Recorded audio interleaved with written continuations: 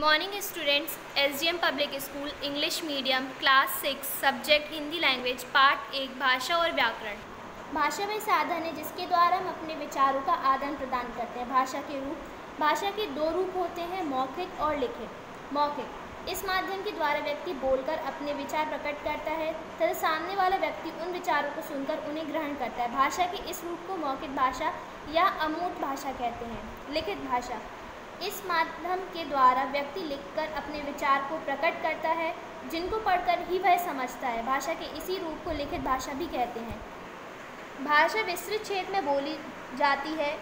बोली के क्षेत्र सीमित होता है। यह किसी विशेष अंचल में भी बोली जाती है। इसका ना तो कोई लिखित रूप होता है और ना ही कोई मौखिक लिखित साहित्य होता है। हरियाणा की भाषा हिंदी है। इसके कुछ भागों में बांगडू भी बोली जाती है। बांगडू बोली है इसी प्रकार हिंदी बिहार की भाषा है। इसके भागलपुर अंचल की अंगिका बोली जाती है। अंगिका बोली है, भोजपुरी, हरियाणवी, राजस्थानी, अन्य प्रमुख बोलियाँ हैं। भाषा और बोली में अंतर। भाषा और बोली में मुख्य अंतर यह है कि बोली सीमित या छोटे क्षेत्र में बोली जाती है, जबकि भाषा का क्षेत्र बोली की तुलना में अधिक विस्तृत है। कभी कभी बोली विस्तार पाते पाते भाषा का एक रूप ग्रहण कर लेती है, लिपि। भाषा बोलने के लिए हमें कुछ चिन्हों की आवश्यकता होती है और संसार में विभिन्न भाषाओं को लिखने के लिए अनेक लिपियाँ भी प्रचलित हैं। देवनागरी का विकास ब्राह्मी लिपि से हुआ, जिस तरह से ब्राह्मी प्राचीन लिपि है, जिसके हिंदी, बांग्ला, गुजराती, अन्य भाषाओं की लिपियों का विकास हुआ। भाषा और लिपि। हिंदी भाषा की लिपि देवनागरी, संस्कृत की Devanagari, Angrezi, French, Polish, German, Spanish, Roman, Marathi, Nepali, Devanagari Punjabi, Gurmukhi, Urdu, Arabi, Farsi Farsi.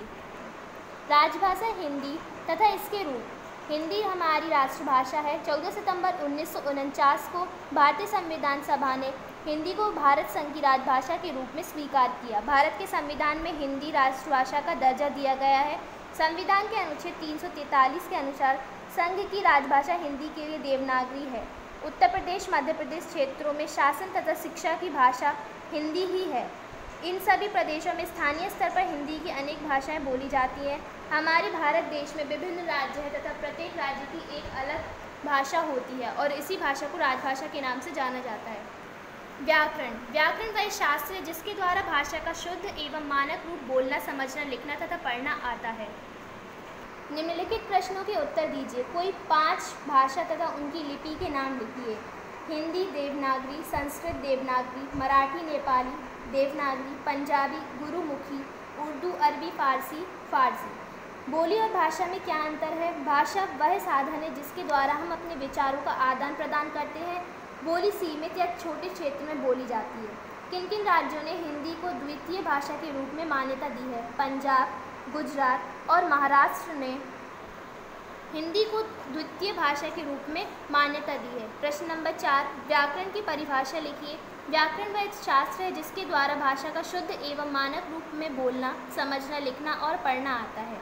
Dravid परिवार के भाषाओं के नाम लिखिए। तमिल, तेलुगु, मलयालम तथा कन्नड़ द्रविड़ परिवार के भाषाओं के नाम हैं।